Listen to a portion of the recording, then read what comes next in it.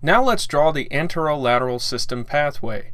Indicate that its first order neuron lies within the dorsal root ganglion, its second order neuron lies within the dorsal horn of the spinal cord, and its third order neuron lies within the contralateral thalamus, in the ventro-posterior lateral nucleus.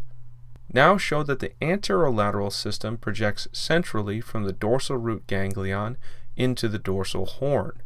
Then label Lissauer's tract in between the dorsal pial surface and the dorsal horns because the anterolateral system fibers ascend or descend a variable number of spinal levels within Lissauer's tract prior to synapsing in the dorsal horn.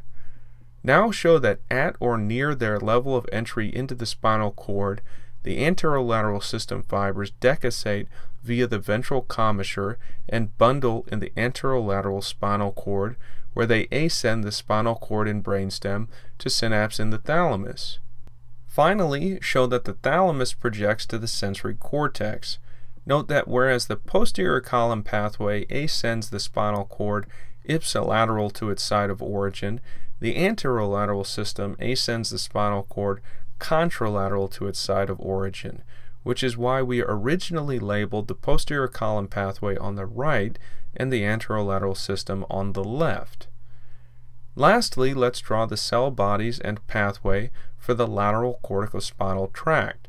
Indicate that the first order neuron lies in the motor cortex, most notably, but also in the premotor and sensory cortices, and then that the second order neuron lies within the contralateral anterior gray matter horn of the spinal cord.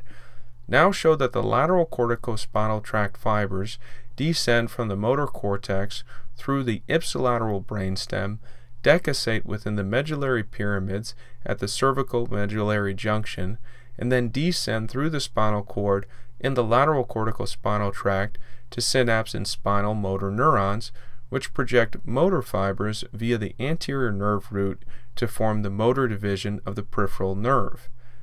This concludes our diagram.